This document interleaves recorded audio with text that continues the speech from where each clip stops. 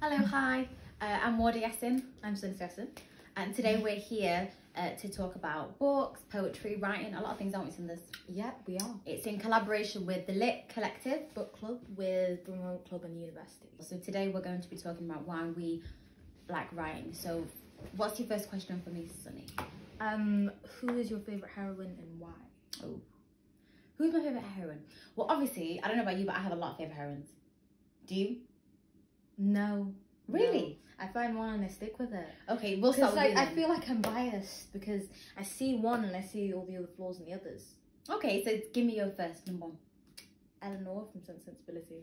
So Elinor, I, I do love her. So Mhm. forgot to specify today the theme is sisterhood because we are Sisters. we're sisters. Um, so this is our first book with sisters. Uh, tell me why. So describe Elinor and why you like her and she's your favourite in there. Well, Elinor was really level-headed compared to her sister Marianne. Definitely, yes. Yeah. And she seems to have a bigger sense than dignity uh, than Mm. any other person I've ever read about. I just feel like I aspire to be her in that sense. Really? Yeah. Oh wow! Because when I read Sense and Sensibility, I really uh, found kinship with Marianne, Mhm. and I really loved kind of her free spirited, her naturedness, like the way that she kind of broke from their society. She just had them curly ringlets, her piano, her bad attitude, and she was out there in the village just living her best life, wasn't she? Yeah, but to me, she seems a bit reckless. Yes, that's why I Yeah. like her. You're right though, she definitely is reckless. Whereas Yeah. you're right, I do think that Elinor kind of like counters her. Mhm. How do you think she counters her? They're a bit yin and yang, aren't they? Not really. With Wait, to specify, this book is by Jane Austen, first yes. of all. Those that are, don't know. Um, Oh. so you definitely Elinor and you describe her, your three words to describe her would be what? Um, proud, sensible, and wise. Wow. I definitely agree with all of those things. She's very dignified, maternal, restrained, but then she's very passionate as well. And I was really, really happy when she gets a classic Jane Austen Yeah. happy ending.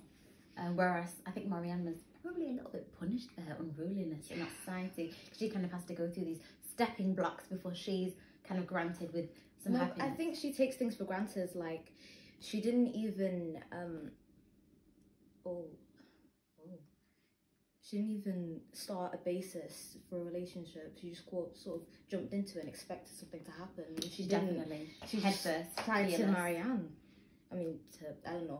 Yeah. And I feel like Elinor had everything sorted out. Like, she knew what was going to happen. She, And she stepped away. look really look after the finances happened. of the family, look after the mum and the little sister. Kind of had this fathership, mothership role, big sistership role, Mhm. and it kind of married with everything. That's really, really wow. Sunny, I didn't know that. Mar- I didn't know Elinor Dashwood was number one on your list. Yes, absolutely. So before we move into a couple more sisters, if we're talking Jane Austen and we're talking sistership, we have got to mention Pride and Prejudice. Pride and Prejudice. we've got to mention the Bennets. Um, for me, obviously, the one that sticks out to me that I just have loved so much my whole life um, is Liz, Liz, oh Liz, Liz, Elizabeth Bennet. I Mhm. think I see actually in some ways. I think she's is she. Some ways I would say she kind of has Marianne Dashwood's sensibilities. She has Elinor's definite like restraint and dignity. And stubbornness. stubbornness and but really kind of smart uh so much integrity when i think of elizabeth bennet i think of integrity do you Absolutely. why do you think she's got a lot of integrity Because I feel like just um, throughout the book, you see lots of different couples, and um, she just seems to be her own person in every kind of way. Like where her dad is reserved, she's outgoing. Where her mum is ignorant, she's knowledgeable. Hmm, fantastic So I feel like that's lovely as well Yeah. yeah definitely uh I, I definitely see is it lydia that is a little bit reckless with wickham oh yeah, and lydia I do you see i see the parallels with marianne with lydia does she? they're a bit crazy do what they want i don't know why I tell me this crazy No, but I feel like Lydia is more of a laid back. Like she'll do something because she knows what's gonna happen. Marianne just goes into it not knowing. Oh wow, fantastic. Uh, other kind of sisters that scream out to me. Uh, you've read Noughts and Crosses by Malorie Blackman. Yeah. We have a sister kind of rivalry in there with Persephone and Myra as well. Oh. Um, and Persephone Hadley in uh, Noughts and Crosses is another really strong literary heroine of mine.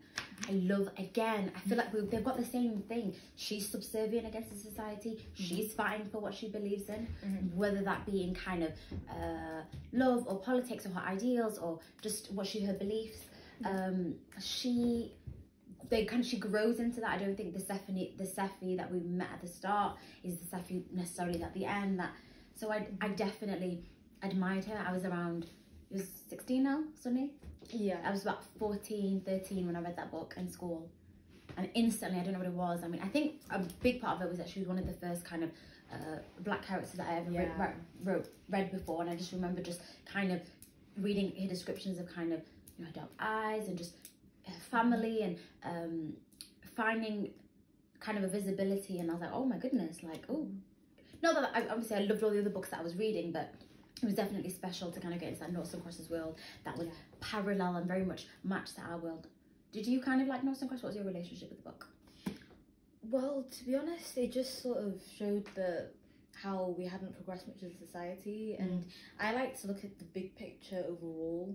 So I wasn't really for romance in it, but Of course, I understand. yeah, So you kind of liked, what did you like, the her character development, like her sistership, just kind of the vibe? um, well, yeah, I do, but I feel like Brotherhood was bigger then. Ooh, Like, yeah. Jude and Callum had an some very Zeus toxic and Hades relationship. vibes. wow. Some I don't even know the toxic combination that we can compare them to.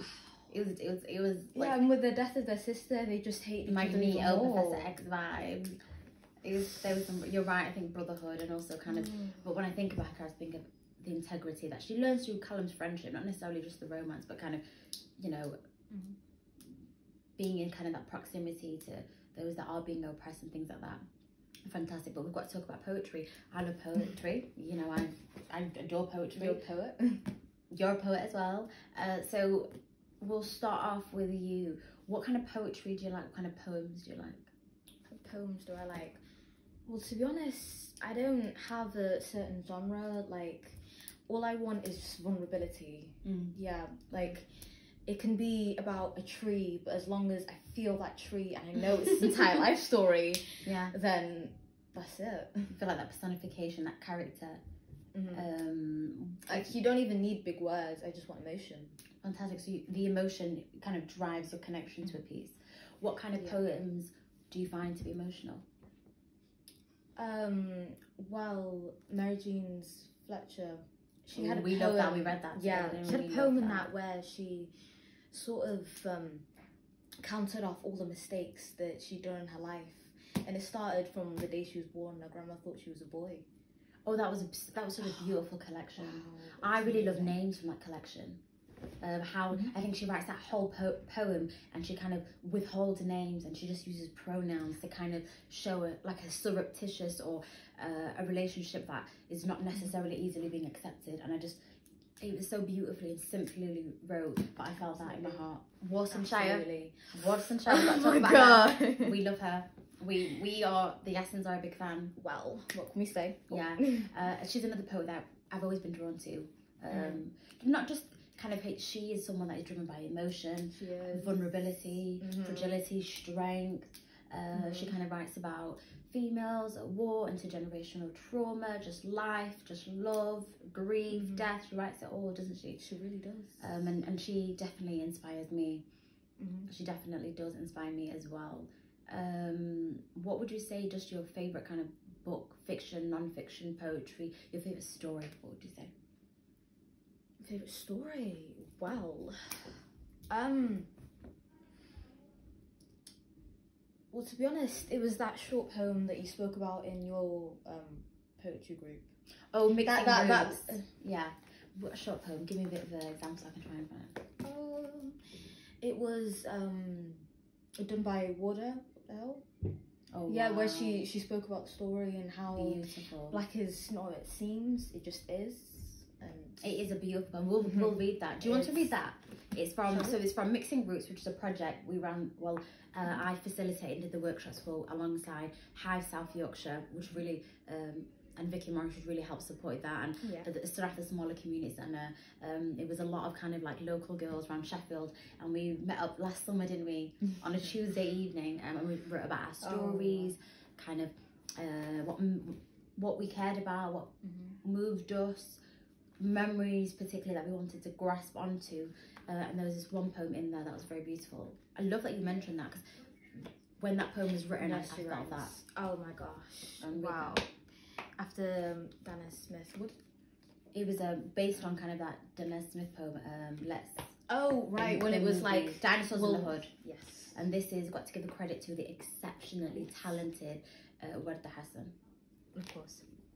Let's make a nursery rhyme where black children are the centre of pure innocence and not the product of a bad environment. No poverty, no missing father, no angry mother, no real sense of danger. Let's make a nursery rhyme where Mary had a little lamb was a black girl who loved animals and farming. A girl who had her hands full all day, not sexualized, not called loud, not overbearing or aggressive, only Mary. Let's make a nursery rhyme where the little black boys are joyous and they're left tumbling all the way down through the neighbourhood. No falling down the wrong path, no destructions. They are the boys they once were.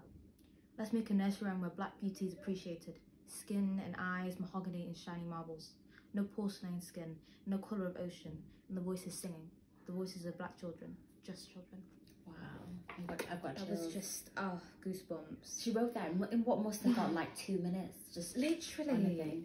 And I think that's the power of poetry to make people feel something like we've just felt. You know, that kind of that instant connection, that appreciation, Mm-hmm. that kind of inspiration. Fantastic. So it'd be great, Sonny, if you could read some of yours uh, that are in this project as well.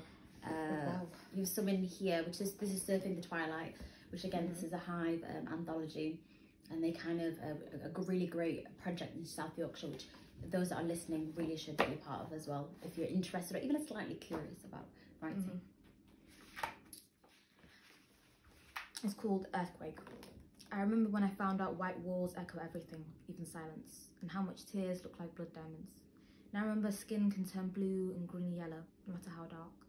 How much I hate the smell of gas, and how kinky hair can only shine when set alight.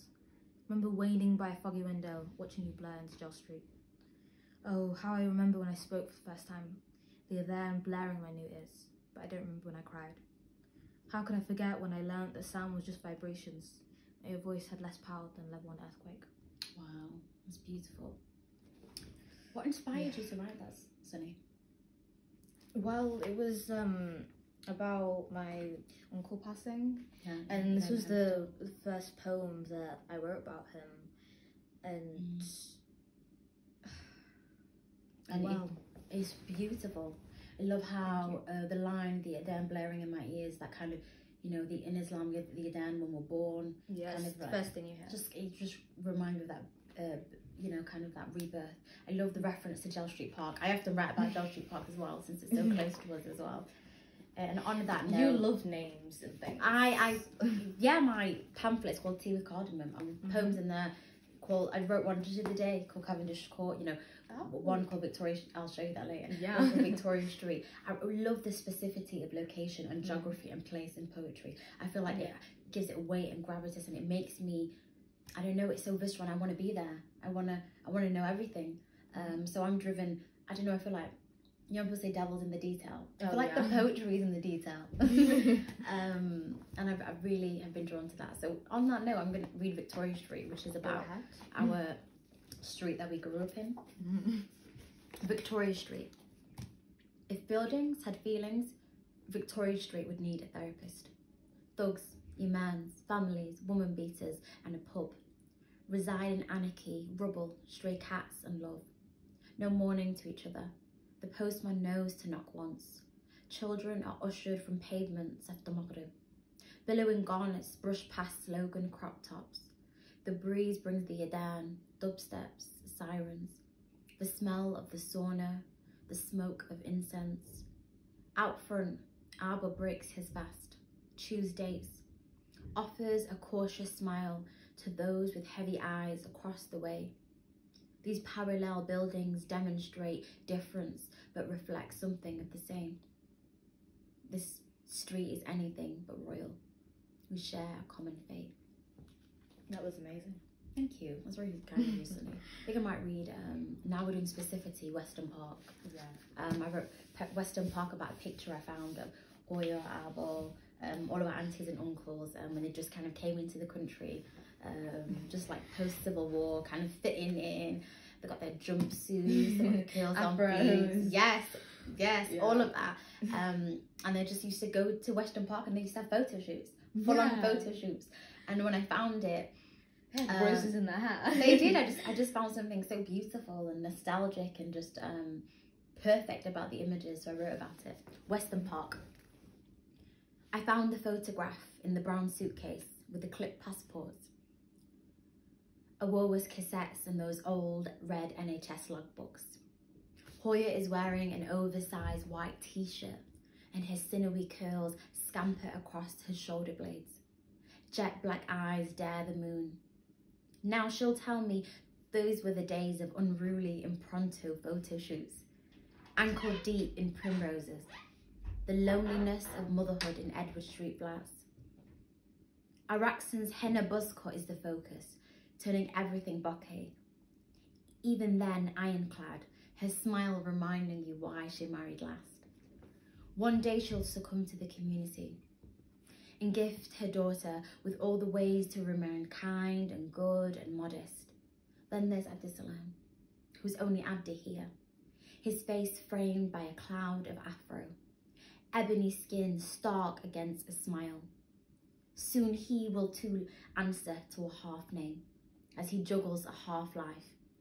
Weekdays spent scolding sons for eyebrow slits and fades, those Sundays longing to cut across his boyhood mountains. That was. Sounds like really about the picture. You recognize some of those individuals, don't you? Yeah, You definitely. Um, Oh wow. definitely. Thrilling. Sunny, too kind, way too kind. This is just gonna be a whole video of me just being like, Sunny, that's amazing. Wow. Being kind back. um, absolutely fantastic. So, what poem that you wrote did you feel? Because I know I write about family and you write about family, which happens to be the same kind Yeah. of family. Duh. Um, what's your relationship with writing about people in your life? Well, to be honest, I feel like I don't really write people. I just write parts of their lives. So I, I don't talk about the full picture. I just Mm. I talk about the bad or the good. So you just kind of have a snapshot or a moment or someone you hold on to and you capture Yeah, and you care about. like my poems are just Mm. word pictures of people. Oh, that's beautiful. Your poems are word pictures uh, of people. I, I like that. Really, really special. That's a really, really kind of uh, beautiful, I'd say, definition of poetry. Absolutely fantastic. It really Yeah. is just you. And if you could pick a poem now to read for us, that's a picture. Which one you pick? I think you should read the one. I, I saw it. Is it in uh, here? That is. Uh, it's got the word Anna Shah in it. That poem. Oh my gosh. Yeah. You know what I'm talking about. Yeah. I love that you could. Do you want to tell Anna Shah what that is for anyone that's listening? Oh, it's here. Anashah is literally milk tea, so it's just like milky tea. That's like twenty percent of the Tea, tea. like eighty Yeah. percent milk. yeah. And that's how you have it. yeah. And who is this poem about? It's about my ayo. You mean my, grandma. our? Yeah, Our- yeah, our me grandma. out the family, Sonny. Sorry. Okay. we always do that. We'll be like my grandma, my sister, my mom. Even yeah. it's this weird kind of ownership we have over everybody. no idea. Everybody calls us out on it. Yeah, okay. Um, it's called My Paternal Grandmother. It took years to notice the salt in your soup was too much. The mountains of kumis covering it, numbing my brown taste buds. The milky Hana shack we were never sure contained tea. You alternate between calling me too young to asking, when are you going to uni? you say you grew up in the me and mock the hyena for never stealing the goat. But I only see you in a two bedroom flat, waiting for late June to sweep you away, with the brush of a branch belonging to a fruitless tree, large enough to give birth under. Wow, it's beautiful. I really, I mean, I remember you first when you first wrote this. For me, I kind of that. I only see you in a two-bedroom flat, waiting for late June to sweep you away. It's mm. such a. When you do you say you like to picture a paint a what did you say Yeah, I like to paint a picture, That a is- of something. that is a picture that is i don't know you really kind of captured that kind of that essence of i don't know mm. i don't it's, it's there's something very beautiful uh, about that line fantastic Thank you. what's the one on top of that i was born I was born. Oh, right. I was born three years after 2001. This is not the longest gap my mother's my- for my mother growing seeds. I was born to grow up when permanent things melt and even 15 year olds fight. I was born to dancing molecules of paper, living off ink that could be any colour, they only use black ballpoint pens. Un- unfamiliar emblems strung together by metal filings, reflecting colourless images.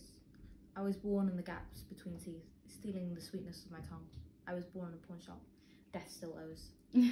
I love that shift, you know, a death still owes. and I really, ooh, I love that. I was born to dancing molecules of paper. Mm. Beautiful. What did you kind of like? Did you want to elaborate on that line? Was- What does that line mean to you? I was dance. I was born to dancing molecules of paper. Beautiful, beautiful metaphor. Well, because um, our parents are refugees, I just sort of imagined the paperwork needed for that, Um, like an entire life in three pages, in a staple. fantastic, beautiful. And then by ma- adding that kind of dancing, it kind of a celebratory nature of it, and it just brings kind of some heart and some quite literally movement to that. That is beautiful. Thank you. Thank you. Thank you for sharing that, Sunny. Um, what sh- poem shall I read next? Oh, um, the one about antagonists.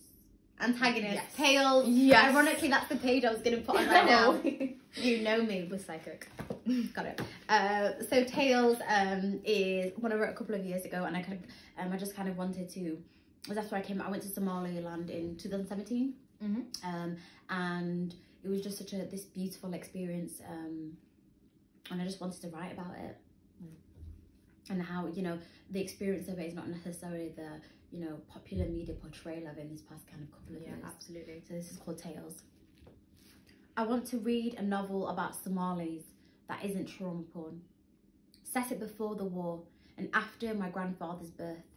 In this story, we're wearing 70s olive oil afros, decollated bare on family photos, backdrop by hand-painted palm trees, ocean views.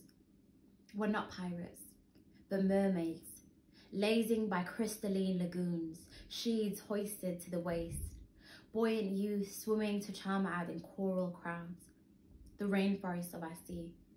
On the beach, there is no blood, only vendors reciting poetry, and there are no droughts on these dry pages. Turn a leaf and drift to the souk at the hall, and see how we barter and flirt in the baking hours, wearing the richness of our language in idle talk, like well-oiled summers. In the spine of this book, schoolgirls will fall in illicit love on abandoned Ferris wheels, then emerge mighty from girlhood like the mountains of Sheikh. Our men will be the heroes for once, their webbed hands scaled in tenderness.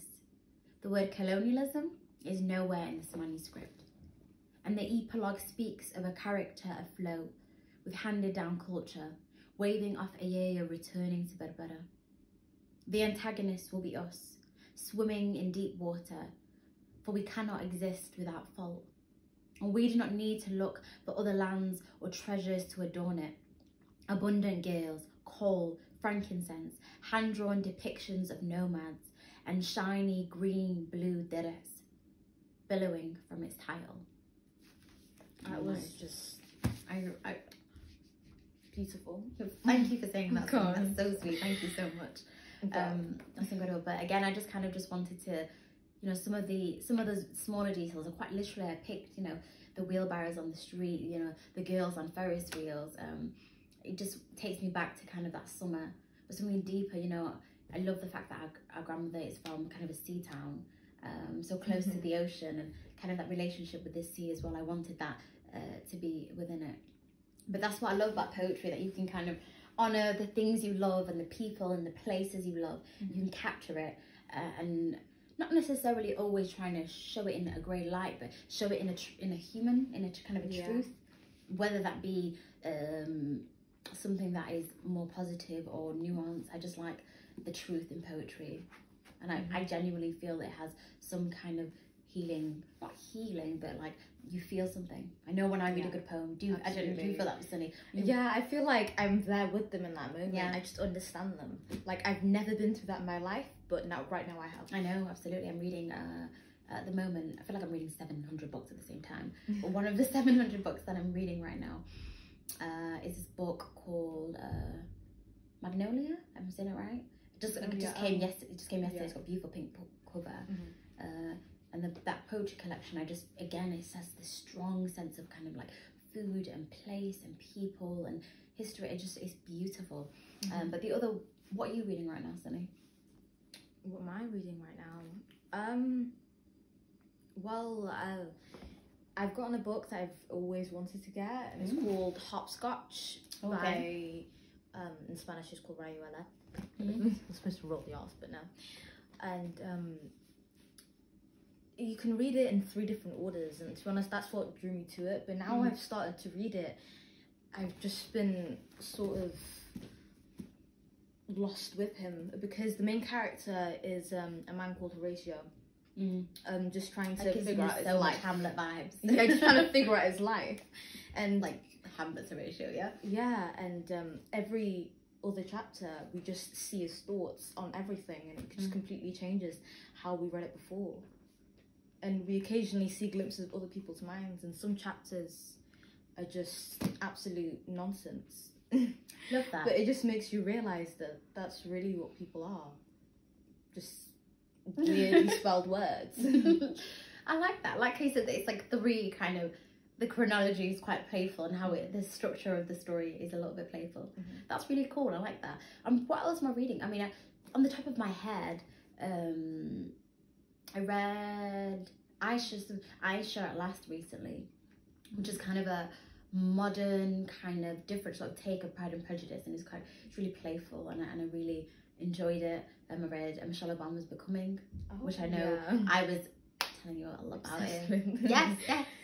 And but again, I love kind of the, the the storytelling in that, and I felt so particularly was shocked by her childhood, so moved by that. It was so beautiful. Again, so much dignity and grace in that storytelling as well.